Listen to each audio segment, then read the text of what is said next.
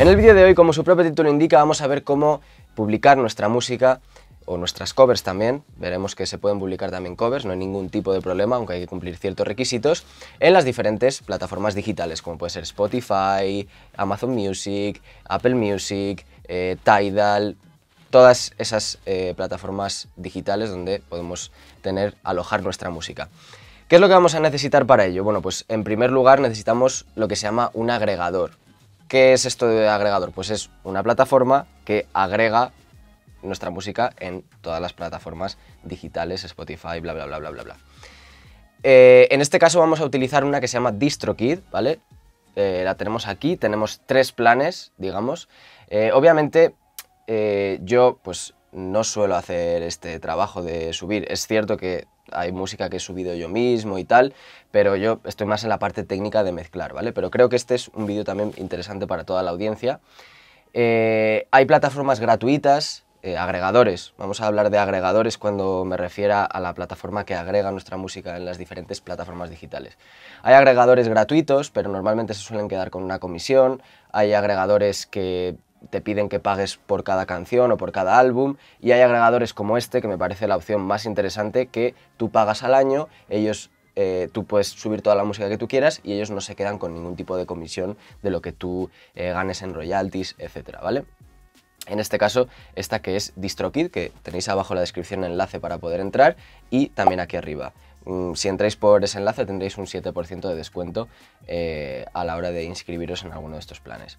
En definitiva, eh, que eh, lo bueno de aquí, de DistroKid, es que tenemos tres planes, pagas al año, subes la música que quieras y ellos no se quedan con ningún tipo de, de comisión, ¿de acuerdo? En primer lugar tienes Musician, si eres tú un único artista, donde lo que quieres hacer es subir tu propia música y ya está, sin demasiadas complicaciones, pues es la tarifa de 20 dólares al año, en euros es un poquito menos, serán unos 15 por ahí.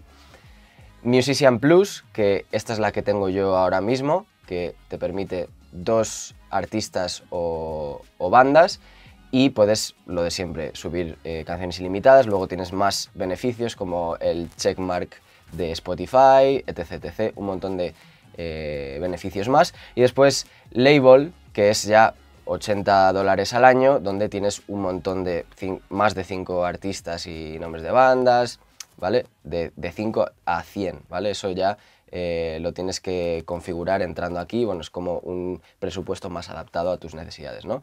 Pero bueno, esta, esta de label yo creo que es más si tú te dedicas o tu, o tu trabajo, tu empresa se dedica a simplemente agregar música de muchos artistas, ¿vale? Yo creo que para artistas independientes, como seguro que sois la mayoría que estáis viendo este vídeo, Musician puede estar muy bien o como mucho Musician Plus si tienes un par de bandas o tal. Bueno, pues una vez la tenemos elegida, eh, sería hora de entrar en nuestro panel. Como veis aquí yo lo tengo vacío, no he subido todavía absolutamente nada. Y aquí arriba pues tenemos Upload, que es el grueso de, este vídeo, ver cómo se va a subir este, este tema, a publicar.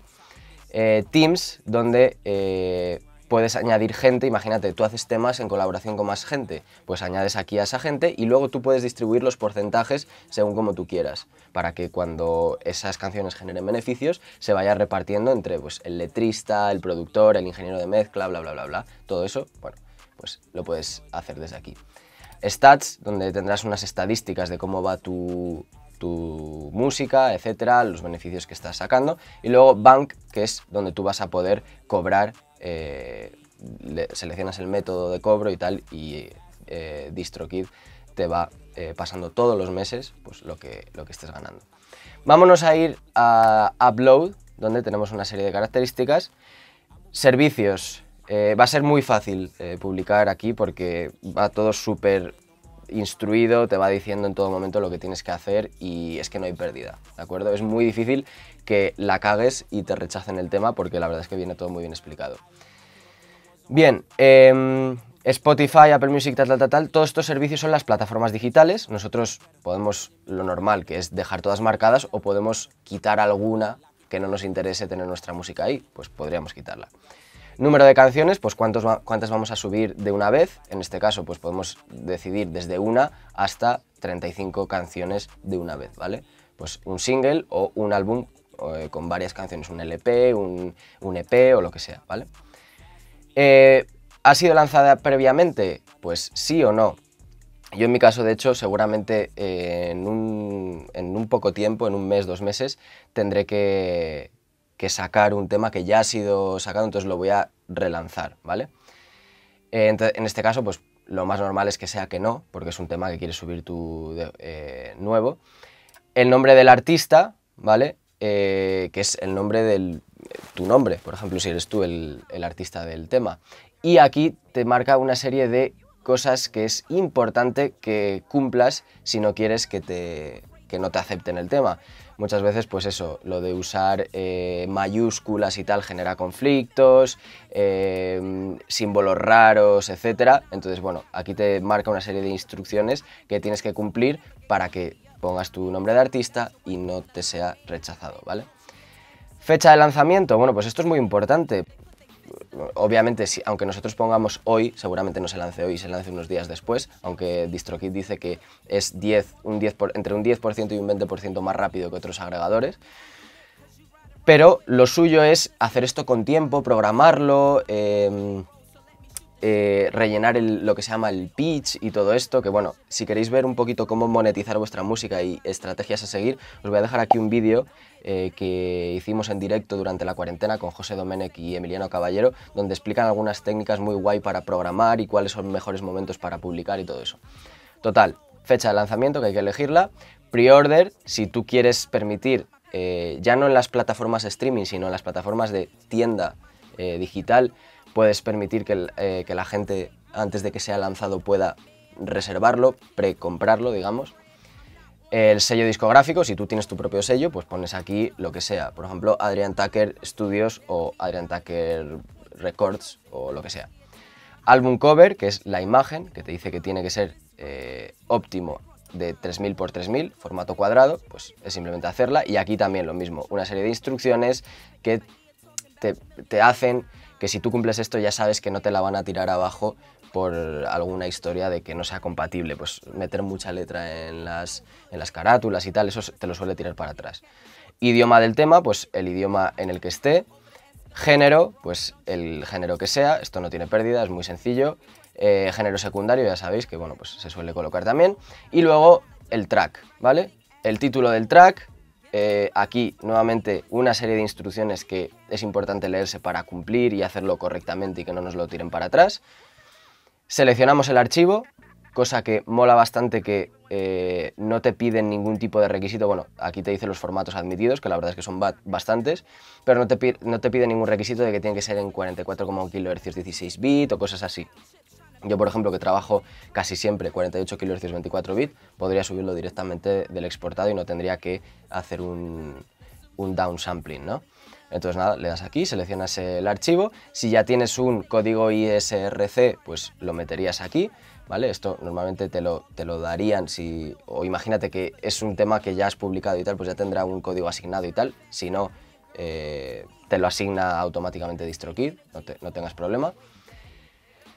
Aquí, el escritor de la canción, ¿la he escrito yo o otra persona ha escrito la canción? ¿Vale? Pues eh, aquí es donde vamos al tema de las covers, ¿no? Si yo la he escrito, pues no tiene mayor misterio, soy yo el autor y ya está. Si es una cover, nos dice, las covers están guay, ¿vale? Y ahí te da aquí una serie de instrucciones. Eh, el sampleo seguramente te lo echen para atrás eh, sampleo que es pues, utilizar trozos de, canciones originales. Esto hay, hay licencias de sampling, eh, pero por ejemplo, imagínate que quieres samplear un tema de Michael Jackson, ya que veo aquí Michael Jackson, creo que el sampleo de temas de Michael Jackson se paga carísimo, carísimo. Y si lo subes sin una licencia de sampleo, te la van a tirar abajo seguramente. Los remixes, más de lo mismo, ¿vale? Y eh, el tema para, poder subir una cover donde tú, imagínate, estás cantando una canción que ya existe con tu guitarrita, ¿vale? Eh, hay una serie de requisitos, como por ejemplo, no requisitos como tal, pero sí que si cumples eso es más probable que no te lo echen abajo, como por ejemplo no modificar el tono, no, modificar el tempo y tal. Eh, esos son unas características que si las cumples es muy probable que tu tema se quede ahí, tu cover se quede ahí y no te la tiren abajo. Si empiezas a cambiar muchas cosas, seguramente te la, te la echen abajo. Y para, eh, en definitiva, bueno, sería cuestión de leerse todo esto y cumplir con todo. Y en definitiva, para poder subir una cover necesitamos lo que se llama una licencia mecánica, ¿vale? Que eh, vamos a tener que, pagar, ¿vale?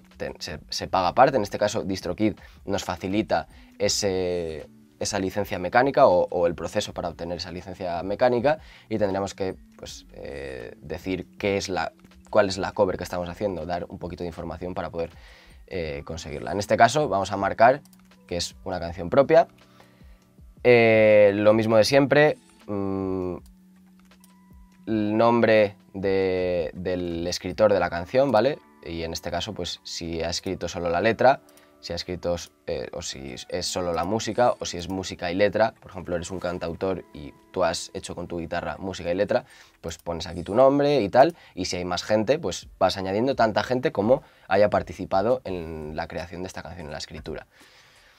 Eh, letras explícitas, pues si dices palabras malsonantes o no. Eh, es, si es un radio edit, es que si dices palabras malsonantes y eh, después tú has hecho un radio edit, digamos, cortando lo típico que se hace, sobre todo pues, en géneros como rap y tal, que se cortan esas palabras o se sustituyen por sonidos y tal, bueno, pues eh, lo marcarías aquí. Si es una instrumental o contiene letra, también lo marcamos.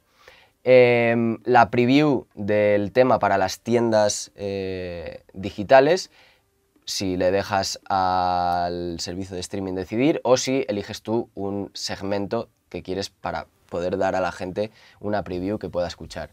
El precio del track para las lo que son tiendas, no servicios de streaming en los que no pagas, sino aquí sería para que la gente pueda comprar tu canción como tal, en formato digital, pues eliges el precio.